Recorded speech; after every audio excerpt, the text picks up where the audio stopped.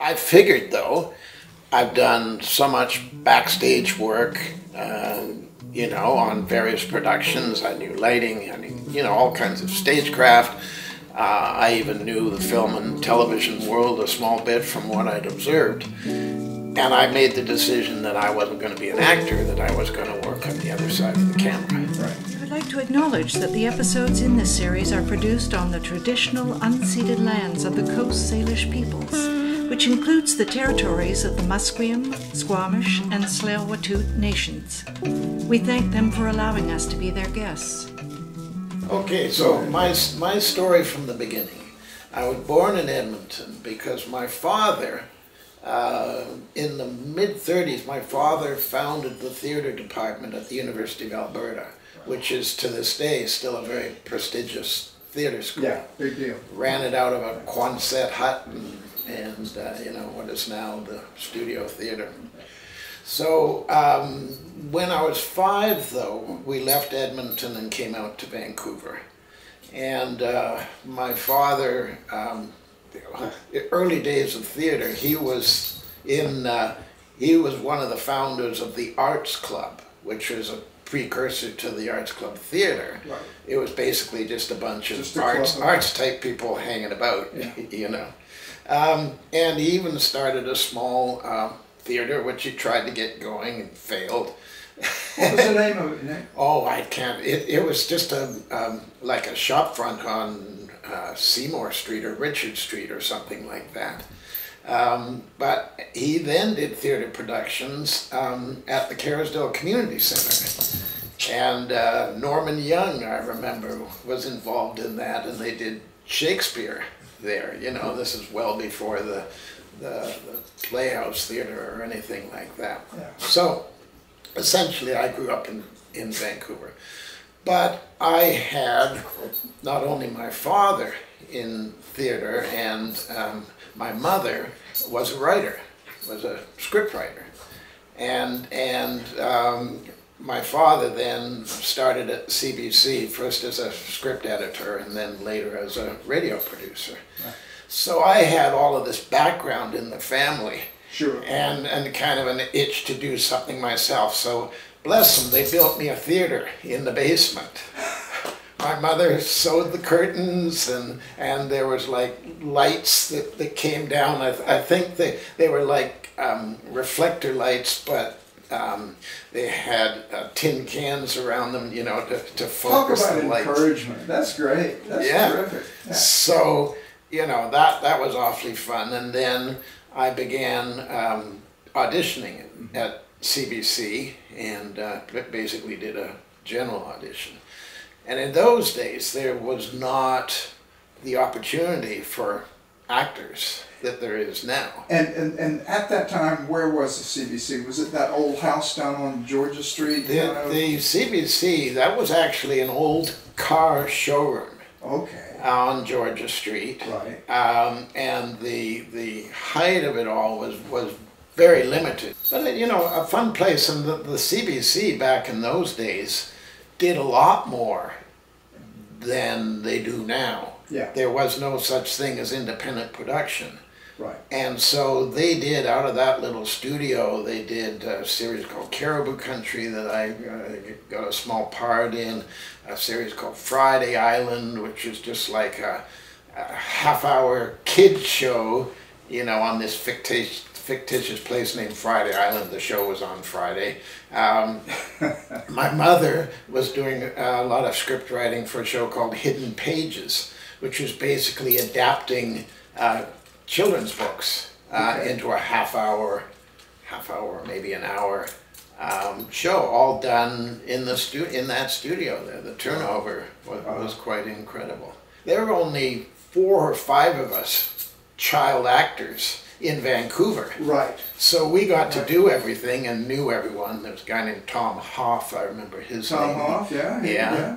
Uh, and a few others whose names now Yeah, yeah. escape me. But uh, that that was a kind of a fun period. And then I got to do some stage stuff out at UBC.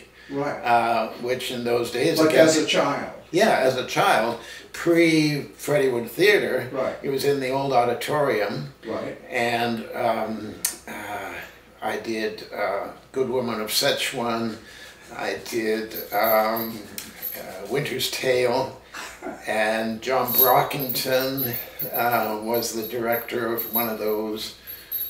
Donald Soule, I want Yeah, to yeah, say. yeah, Donald Soule. Uh, so I was doing all of this and having a great time, and obviously doing stuff with school productions and things like that. The big change came for me when I when it came time for me to go to UBC. Right. And I just, it was kind of assumed in our family because my parents had done, you know, gone to university and, you know, Cambridge and things like that. that I would go to university. But I didn't know what I would do, and I assumed it would be something horrible, you know, like science or something like that. in grade 12, STEM. in grade 12, there was a UBC catalog. And I opened it up. There's a theater department. I don't have to work. I could just Right. take four years of theater. Yeah, yeah. That'll be a snap. Yeah. Well, it wasn't, wouldn't have been as hard as physics or chemistry no, or something no, I like couldn't that. that. Um, so you know, so university was good for me, and and um, I uh, I was in the radio society, so I got to learn to be a DJ and things like that. Uh, and of course, in theater, I was in shows at the, the Freddie Wood and, and, and such. We did uh, As You Like It, As you like it. and with Irene Prothero Right. directing, who'd been um, a student of my father's at the University of Alberta. I wanted to get out of doing it because I was doing a show with MUSSOC, and I didn't want to do it. So I- Musical Theater Society. yeah, yeah. So I tried to do poorly in the audition, but because I was the son of her professor, she gave me a role anyway in it. Nepotism. It, Yeah. it bites you at the worst time. That's it, yeah. Um, but um, I did get involved in MUSSOC. Um, and again, I, I did um, West Side Story was the first show I did. Yeah. That was the first show I did. Yeah. It was a MUSSOC show. Now I was on crew. Yeah, I was on crew too. Yeah, that was a lot of fun. And and oddly enough, and when I had joined, David Y.H. Louis was producing. Uh-huh. Um, but then he graduated or that ended, and I went from Fly Gallery. I, I think I was doing a theater in the park or theater under the stars show At Malkin Bowl. at Malkin Bowl Right. on the stage crew. We got a great opportunities for youth grant, which Yes. Pierre Trudeau Wonderful. instigated. Of course, Wonderful. yes, summer work in a field, and so we were paid to build the sets and then stage crew the shows. So that was B.J. Clayton. Barb was involved in the shows then. Yeah.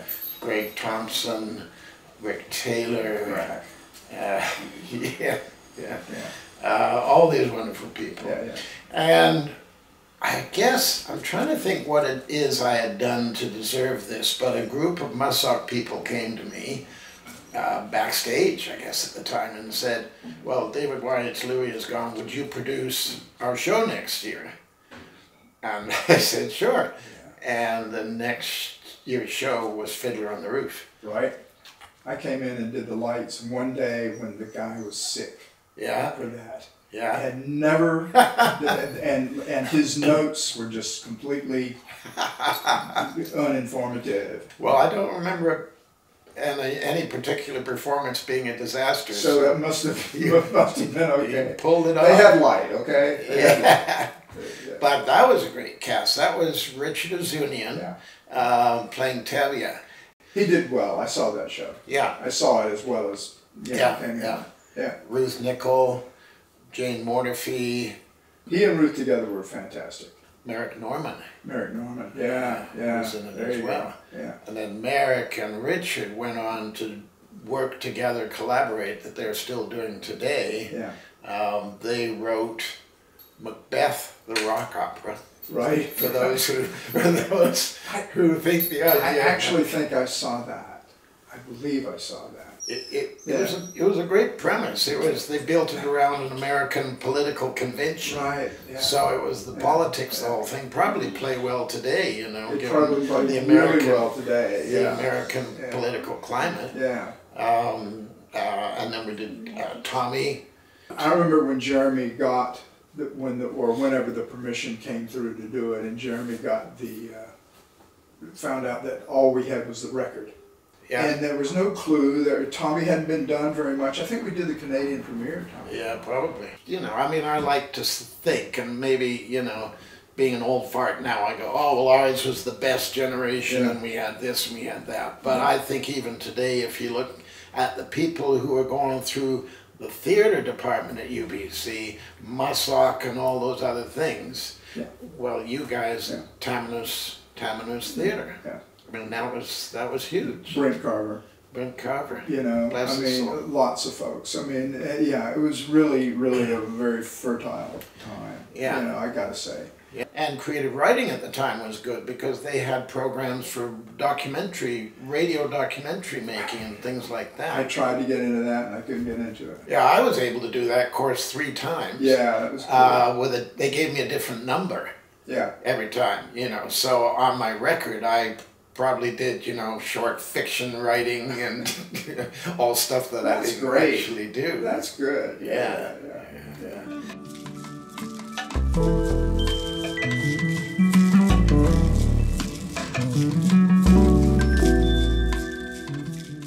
At that point, though, being in theater at UBC was a turning point for me because I had come out of high school and the acting that I had done, and I thought I was a pretty hotshot actor and, you know, whatever. And suddenly, in the theater department, in the acting class, there were 30 of me who had all been the hotshots of their high school or whatever. I, I, I use that jokingly, but you know, I would get all the lead roles and things like that, you know. So I had that confidence. And acting, as you well know, requires a lot of confidence. You have to lose yourself in your role and be confident in what you're doing. Yeah.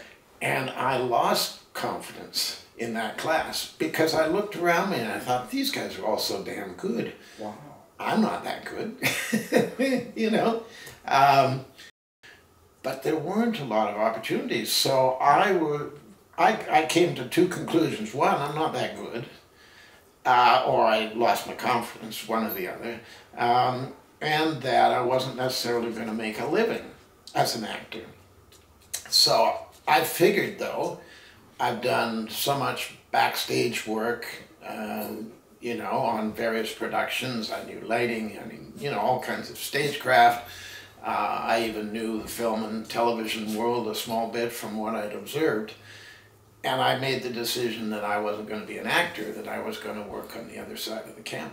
Right. And uh, that's what And happened. it worked out pretty well. It seems worked out.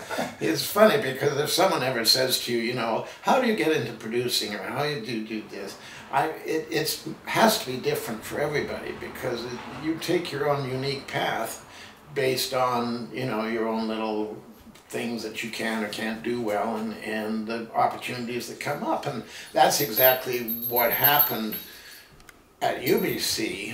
I was I had a summer job once um, as an all-night DJ at CKPG in Prince George. It was 1970, and even that was pure chance. I was in uh, the studios of UBC Radio in the summer. I dropped in, I can't remember why. The phone rang, the guy who answered it, it was the program director from CKPG. Hey, we need a summer replacement. Can you recommend anyone? Right. do you want to do this? And I said, oh, sure. So there I went up there and um, met a guy, in fact, uh, named Denny O'Neill, who was in my one of my uh, drama classes in high school. And he was now a DJ on that. So I did that summer job. That was kind of fun. Yeah. And I was getting near to graduation from UBC. Um, and and not really knowing what I was going to do, I turned on the radio and CFUN was on, and here's Denny O'Neil on the radio. Right. Went over, rang the back doorbell, went in and chatted to him while he did his show. And I said, but you, do you have any work going here? And he says, actually, we need a production manager, uh, the guy who makes commercials. And he Right. said, you know editing and things, because through my father, uh, CBC radio producer, I was able to do some documentaries for CBC radio um, at the end of high school even and through university. So I had those production skills and I just went round to my profs and I said, I'm leaving a week early if that's okay. You know, I've got a job. And uh, so that's what happened. I ended up uh, in working production in radio. Yeah. Um, and I did that for a few years, went to a couple of other stations doing that. Um, but got tired of that. You know, I, I, I was at, I think I took some time off and I went to London. Uh, followed a girlfriend over there. Right. Uh, And you're you've got citizenship anyway, right? yeah, I'm a dual because citizen. you're because Yeah, of your my mother, Yeah, yeah. born in England, my father was educated in, in Yeah. the UK, but uh, so yeah, so I went over Yeah. there, chased a girlfriend for a while, and that fell apart, and came back, went to CHQM, which was kind of boring because they, they, were like Muzak and, Yeah, the, and the was kind of- commercials were were just a formula. Instead of having fun making commercials, it was one line of dialogue, bring in some sappy music and Yeah, you know yeah. whatever they were selling. Yeah.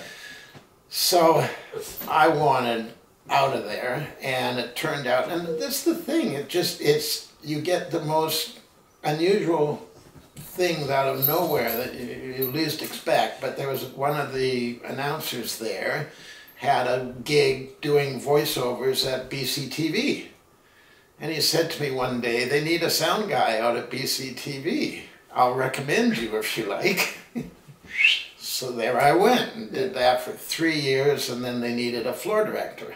Well, I'd done stage management, Right. so I became a floor a floor director. Yeah. And uh, Now, floor director is that the job where the, the floor director's in a up in a up in a booth somewhere and connected to all the cameras and telling people. well, well, that's the director up, That's up the in the director. booth. The floor The floor director's down on the floor. headsets down on the floor, Yeah. telling the talent and Yeah. whatever, Yeah. relaying the messages, making sure everything, Right. you know, making sure the crew gets back from their break on Yeah, I time. don't, and, I don't. I guess they don't do that much now anymore, right? Maybe talk shows. well, you'd have to. They Yeah. do, but but you would only see them on talk shows or Yeah. uh, there, there's a floor director on news shows or on a sitcom, maybe. Because I, yeah, and that's part of the problem. I ended up doing way too many news shifts with Tony Parsons, who's the nicest guy in the world, Norm Grohmann, Yeah. etc. Uh, wonderful, but it's news, and that wasn't my background. Yeah. So again, I decided to take a leap. Had no uh, children at the time. Uh, this would be 1979 Right. uh, again, the dual citizenship thing, I said, let's just go, said to my wife, let's just go to England and I'll apply everywhere and we'll see what happens. So went over there and, and I can be um, very persistent when need be and, and you know. Yeah. Uh, so I, I set up a whole, had a notebook with all of the people that I wanted to talk to and things like that. And uh, within three weeks, I got a job at the BBC. now, the, the job, that, uh, their job title was assistant floor manager, but basically that translated to second AD Uh-huh. on a film set. Uh, So I then started working film productions. I did a great show called Shoestring with Trevor Eve. Uh, that became quite well known over there. yeah. Um, various various shows. So it was great. I was doing drama. It was BBC drama. You know, getting great experience Meeting But- a lot of people. and meeting a lot of Yeah, people. And um, but the the pay especially at the BBC, is not that high.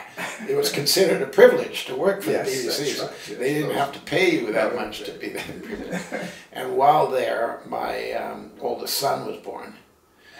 So we decided we we maybe better, um, you know, come back to Vancouver, you know, and do something that earned a little more money and things like that. Um, so I'm rambling on. You asked for No, my no, life no, story. ramble, ramble, good? ramble, ramble, ramble. It's great. It's great. All right. So, um, came back, and just as we were back, they were starting what really, in retrospect, was the first independent production company in Vancouver.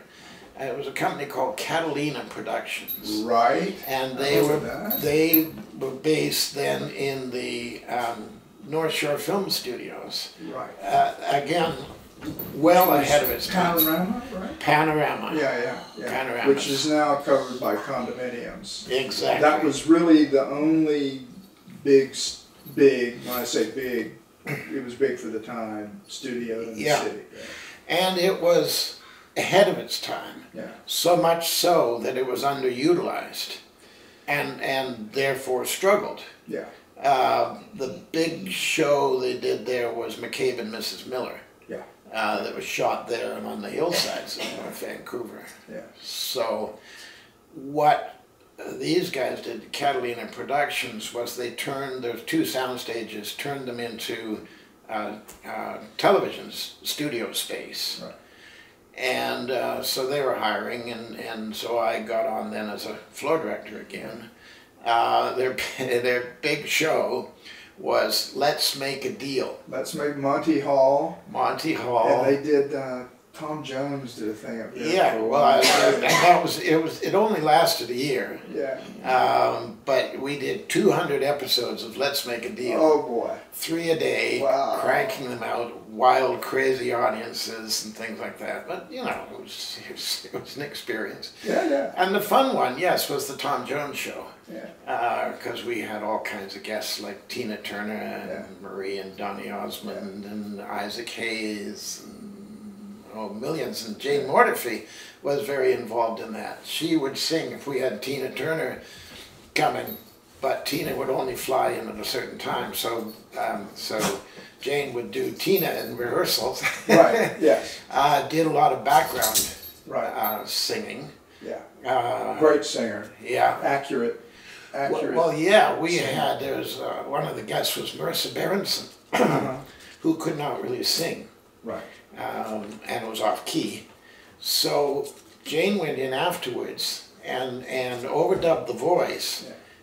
sounding just like Marisa Berenson, but on key. yeah. Well, there you go, there you go. I found out just the other day, Jim uh, Vallance, Vallance, Bryan Adams' uh, songwriting partner, Right, played drums in the orchestra for Wow. for Tom Jones show. wow, wow. It's a small world. So Yeah. that was fun, but then they, they managed to go bankrupt. They, they, they would not let others rent the studio. They were determined to do their own productions, and that was a mistake because we were hired full time, whether there was work or not. I did Iceman up there in 1980. Ah, Yeah, yeah. and uh, and yeah, I think I must have done something else up there, but I can't remember Yeah, because I knew the place, yeah, you know. yeah, But uh, yeah. So, Yeah. so yes, so they went bankrupt. yeah, owing us a little bit of money, but it wasn't the end of the world. And we all kind of made off with little bits of equipment. John Collins came to us one day. He said, "Well, I got my thing, whatever." And I said, well, "What?" He said, "I got a fire extinguisher." wow, wow, so uh, all of a sudden, I didn't have a job, um, and um, but you know, I mean, they say it, and I believe it. One door closes, another door opens, and and I look at each one of these events, which any one of them could be quite devastating, and actually worked out well for me. So. I wrote to the BBC and um, they, they said, oh, we'd be delighted to have you back. We really liked you and things. There was a thing about the BBC. we colonials did quite well because we have quite a lot of hustle and drive that a lot of the British crew did not have. So they seemed to like us. Yeah. colonials. Yeah. Um, so, um, so I was going to go back, but um, I thought before I go, I'd like to make more connections at the CBC. Sure. There was a guy there, uh, Bill Schrosko. Every time I talked to him, it was always like, no, no, no, we have nothing. He wasn't interested. But a new guy had come in named Joe Batista. Went to see Joe Batista. Ended up talking to him for like an hour and a half in his office. Well, this is crazy. And then he took me around and, in, and, and introduced me to all these people. Cool. And I thought, what's that all about? And then I found out that they needed a unit uh, manager. Uh-huh. And I thought they would, you know, hire lower down and, and promote whoever's up, whoever's up top. Um, and, um, and so I thought, well, they may offer me that, but I will be interested. I've got the BBC thing anyway. So sure enough, I ended up going for uh, a board for a job interview. You know, five or six people in a room. Normally that would, you know, give me a bit of tension, like you know, whatever. But I was going to the BBC, and I didn't really care. Yeah, you know, it was a very relaxed interview. And uh, in the end, and I and I knew that they needed somebody on Beachcombers. Right. Um, and um, so, but I thought that they won't offer that to me, so I'll just do the interview. Now, it had been going on already. It had been, oh, the Beachcombers, Yeah, yeah. uh, for anyone who doesn't know, ran for 19 years on the CBC. Began in 1972, I believe. right, Uh, and this is now 1980, 1981 right, uh, when this happened. right, Uh, so they've been going for 10 years. yeah. They eventually ran for 19. So I'll be damned if they didn't offer me the beachcombers job. So I had to write the BBC and say, sorry, I'm not coming. I'm going to do this. I'm going to do this.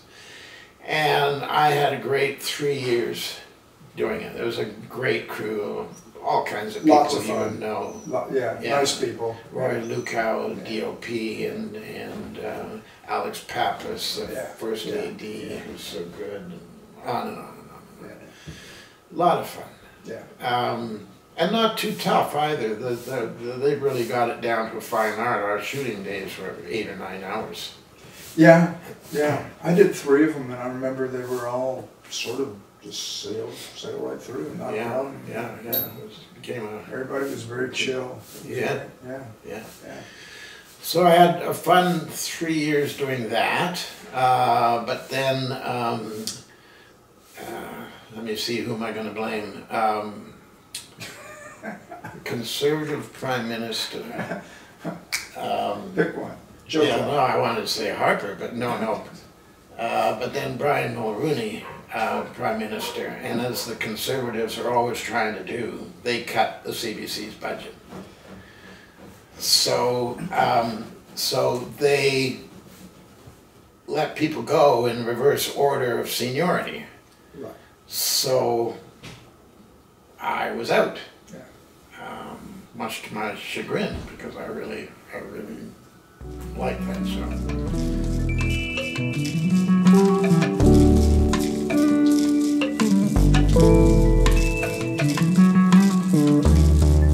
So I went to England then, and I just flew in, and I, I, I, I- didn't write. I think I wrote. I must have written a letter, Yeah. but it wasn't one of those. You know, yeah, we want you back, and we have a job for you, or anything like that. So I walked into the head of walked into the head of the uh, drama department, um, and and she said to me, you know, if you'd been here yesterday, I would have said, I'm sorry, Nick, we don't have anything for you, but we're doing this new twice weekly show. And we don't have anyone. We need an associate producer. And it's like, okay, Well, I all guess. right. I said, okay, what, what is it? And I think at the time it was it was called East Eight or something like that, and it was all to be shot on tape, which to me didn't appeal. I wanted to do the next Jewel of the Crown and you Yeah, know yeah, something yeah, like that, you know, whatever. so, but I said, of course, I, I took the job, went home, flew everybody back, and Right. you know, found a place to stay. The show ended up being EastEnders, uh, which became, in short order, the highest rated show on British television.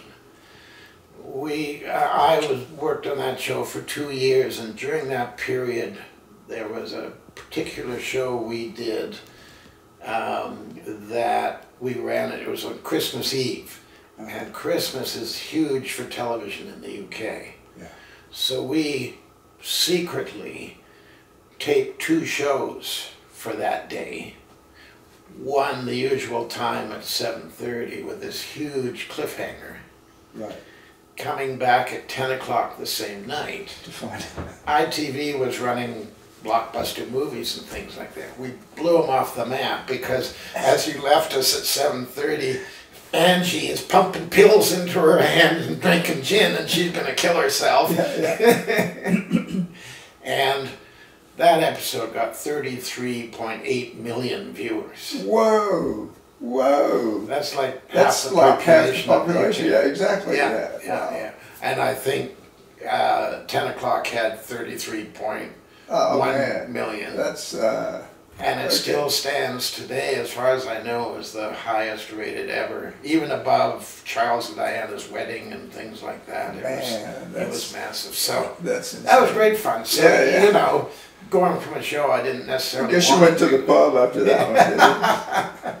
But you know, I didn't want to do this film drama, but it it it was a wonderful thing to work on because even though it's a soap, it's not like American soap. They're, Yeah. they're real stories, and you have to follow along to to know what's what's going on. And for me, as now a novice producer, you have to be on your toes. You're doing two shows a week, 52 weeks a year. The scripts are coming through, you got to be able to act fast, and the editing, and the whole process is, is very condensed. So that was great fun.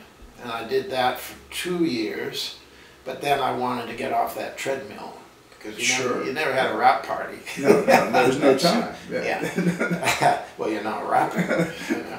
Um, so I then went on, I then switched over to uh, some miniseries. Three-parters is what they call them in the UK. Uh, did a wonderful one called The Marksman, Jumping the Queue, another short series I did. And and uh, then I got a call from um, a guy named Phil Redmond, who was doing um, a similar primetime soap for Channel 4 called Brookside. Same story with BBC. They don't, they don't pay you a lot of money, even though I was in a much elevated position. Basically, he wanted me to go to Brookside, which was shot in Liverpool Right. and he doubled my salary to do it. So, Get on that train, buddy. yeah, exactly. So, and and um, unlike uh, EastEnders, the first after the first season of EastEnders, we were a million pounds under budget. We were trying desperately to to spend the money. We were buying production cars. We we we went. We decided we'd go shoot some episodes in Venice because you can. Um, we You all run into that problem again, you call me. yeah, yeah. Well, and, and we hardly made a dent in that million pounds, but the department loved us because they were a million pounds over budget, so it worked out in the end. Brookside was shot with a much lower budget. So it was a similar thing, two shows a, a, a week, but shot on a much lower budget. And this taught me how to do that kind of Right. production. So that's what I did and, and began to formulate the idea that maybe I'd like to create a show of my own, um, shoot it in similar low budget fashion or whatever. Um, so thought of that, and what I discovered was because I was over producing in the UK with some highly rated shows, I suddenly had the attention of the CBC executives. Right. You know, oh, come on over. He's We're- actually good. yeah. Yes, he- Well, I don't know. I'm not saying I'm actually He good. left some, he left here, and he, but he's actually good. I, I would correct something though. What you say, I never, I wouldn't have said, "Oh no, I'm good." Uh-huh. Um, it's very much where you are at the time. Yeah. Um, Yeah. That's what it is. Yeah. Because um, the show that I developed became Northwood. Uh-huh. The show that I did for the CBC back in 1990, which ran for four seasons, 90 to 94. Northwood came out of my experiences on EastEnders, realizing what a large audience, a kids' audience, the show had. Uh-huh. I was on a summer holiday at a, at a place up north of England, and they had cabins and things like that, but they had a TV room. And I wandered down to watch that night's episode of EastEnders. Nobody in the room. It was about five minutes to go. All of a sudden, the doors flew open. All these kids, teenagers, and that came in, plopped down, watched the show, got up and left. And I thought, that's interesting. So I looked at our show and realized that we had a lot of um, strong characters in their teen in their teen years Uh-huh, sure. as part of EastEnders, and that resonated obviously in in the UK with audiences. So I thought, why not develop a show that was principally teenagers? And I was I was not here during the early Degrassi years, so I didn't Right. I didn't really know there was already one being done. You know, so that's what I developed and pitched, and and uh, Ivan Fecan liked it and picked it up, and and to speak to this thing about it, it's just circumstances at the time. Uh-huh. I, I heard from somebody who had pitched a show pretty much the same as what we were doing with Northwood. You know, well, essentially teenagers in high school, whatever. So he was really annoyed that, that mine got done and his didn't. And I realized the whole difference was my background at the time because I'd come from this to that to that. Sure, sure. Yeah. I got that opportunity Yeah. where probably this guy's show would have been just as good as ours. Yeah, yeah, you know, yeah, yeah, you know, it's it's just luck, circumstances. Yeah, yeah, yeah, yeah. A lot of it is subjective anyway, so. yeah, yeah, yeah. Yeah. So, anyway, packed up, came back Yeah. here, and uh, we did. Uh, we were blessed at the time. Fecan had just come from NBC, and he gave us enough money to write ten scripts. Wow. unheard of before and Wow. since. We wrote 10 scripts, uh, of which we only, well, we almost didn't use any of them, but we shot two of them. And he allowed us to throw that away too. Because I wanted to make some casting, a few casting changes and tweak here and there. So, I mean, we only took those shows as far as Rough Cut. Uh-huh. But that was enough to show us what worked and what didn't work. Right. And again, in Canadian television, that's unprecedented. No, no, no. So that's yeah. Ivan exactly. At that time was was great was great for us. Yeah. Um, so did that show and a great cast. Lochlyn Munro uh, was in it. And, Nice uh, guy. Like yeah. um, and um, we did well. We our ratings were over a million, Yeah. uh, which today is even better, but, Yeah, yeah. but back then was was very good.